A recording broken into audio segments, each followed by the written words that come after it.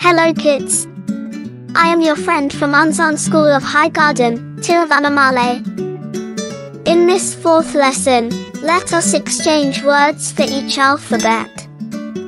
I will say a word for each alphabet and you have to say another word for the same alphabet. Are you ready? Here we go. A for an alligator.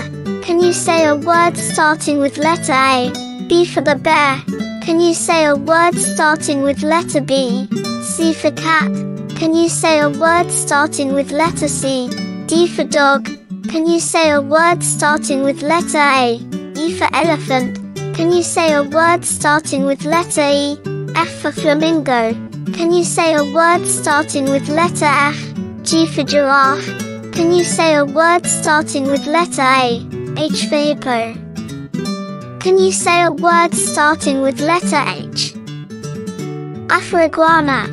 Can you say your word starting with letter I? J for jaguar. Can you say your word starting with letter J? K for kangaroo. Can you say your word starting with letter K? L for lion. Can you say your word starting with letter L? M for monkey. Can you say your word starting with letter M?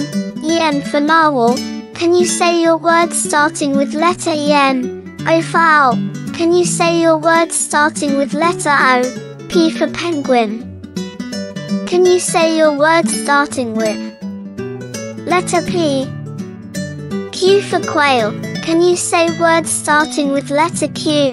R for rhino. Can you say a word starting with letter R? S for snake.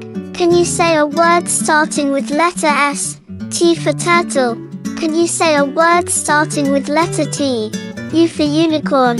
Can you say a word starting with letter U? V for vulture. Can you say a word starting with letter V? W for whale. Can you say a word starting with letter W?